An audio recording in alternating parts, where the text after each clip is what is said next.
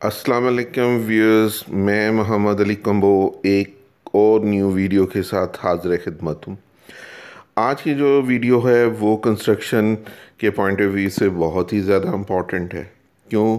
इसमें हम डिस्कस करेंगे लेंटर अगर देखा जाए तो लेंटर आपकी कंस्ट्रक्शन के लिहाज से, इस लिहाज से भी इंपॉर्टेंट है कि ये आपकी अपर जितनी भी फ्लोर्स हैं, उसका वेट इसने कंटेन करना है। पहली बात है, जब भी आपने लेंटर डलवाना है तो इनमें कौन कौन से कंपोनेंट्स हैं, या चीज़ें हैं, जो हमें इस्तेमाल के लिए ज़रूरत पड़ती है? रेत है, बजरी है, सीमत है, सरिया है, और उसके साथ साथ आपके घर की जो इलेक्ट्रिसिटी का फ़्लो है, उसके जितने भी पाइप हैं, वो भी लेंटर में डाले जाते हैं। अब यहाँ पे ये बात आती है कि रेत कौन सी इस्तेमाल करें? तो लाजमी बात है, जो रेत आपने चुनाइयों के लिए इस्तेमाल की है, वही आप इस्तेमाल कर सकते हैं। बस कोशिश करें कि उसमें मट्टी या दूसरे पार्टिकल्स वगैरह ना हो। लेकिन जब बात आ गई बजरी की तो बात, बजरी कोशिश करें प्लांट की इस्तेमाल कर लें, चाहे वो सरगोदा की है या मारगला की। लेकिन एक चीज़ याद रखिएगा कि उसका जो साइज़ है, वो इक्वल हो। ये नहीं है कि कोई साइज़ स्मॉल है स्टोन का कोई बहुत ही ज़्यादा बरीक है तो वो उससे मजबूती नहीं होगी। इसलिए कोशिश करें प्लांट का माल लें। तीसरी चीज़ आ जाती है सीमेंट। सीमेंट अगर देखा जाए मैपल लीफ है बेस्ट वे है डीजी है एक्सेट्रा तमाम सीमेंट्स आलमोस्ट इक्वल हैं। लेकिन अगर देखा जाए बेस्ट वे या मैपल लीफ है, वो as compare other cements companies की नस्बत बेहतर है। लेकिन यहाँ पे एक चीज़ और बहुत ही ज़्यादा ज़रूरी है, वो है सरिया। कोशिश करें कि सरिये के मामले में कतन आप लापरवाही ना करें। यहाँ पे वेट के लिहाज से कई पर्सन आपको रिकमेंड करेंगे कि आप सिर्फ़ और सिर्फ़ तीन सूत्र का सरिया डलवा लें। कभी भी कोई इंजीनियर कोई भी प्रॉपर प्रोफेशनल पर्सन ये रिकमेंड नहीं करेगा। क्यों? जब भी लेंटर डाला जाता है तो उसमें तीन सूत्र और चार सूत्र के कम्बिनेशन के साथ आपकी छत पे सरिया डाला जाता है। और उसके साथ साथ बीम भी डाले जाते हैं जहाँ पे आपके शेड आने हैं या आपके ऊपर के फ्लोर का डिज़ाइन अगर चेंज हो रहा है। नॉर्मली तो ये होता है दीवार के ऊपर दीवार, लेकिन अगर वहाँ पे डायरेक्शन या सिमत या साइज़ कम या ज़्यादा करना है तो जहाँ पे दीवार के ऊपर दीवार नहीं है तो वहाँ पे बीम डाला जाता है। किस लिए? मजबूती के लिए। और कोशिश करें कि जो आपका बॉक्स है, वो मैक्सिमम दो ईंटों की जो साइज़ है, इससे ज़्यादा ना हो। यानी हॉरिजेंटल और वर्टिकल जो बॉक्स बन रहा है रेक्टेंगल उसका जो साइज़ है, वो आपकी दो ईंटें तिरछी अगर रखी जाएँ तो इससे ज़्यादा ना बड़ा हो।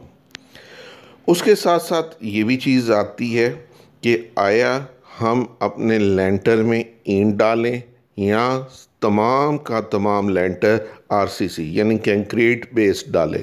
तो इसका सिंपल सा फार्मूला कि आपने ये चेक करना है कि आप जब लेंटर डाल रहे हैं तो उसमें टोटल नंबर ऑफ़ ईंट्स की कॉस्ट क्या है? नंबर टू अगर ईंट नहीं डालते तो नॉर्मल लेंटर यानी ईंट वाले लेंटर से कितना ज़्यादा सीमेंट इस्तेमाल करेंगे, उसकी कॉस्ट क्या है?